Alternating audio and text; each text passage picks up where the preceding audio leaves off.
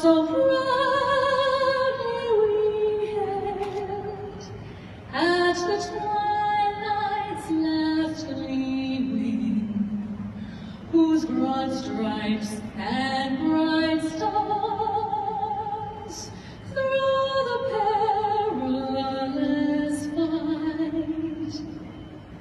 o'er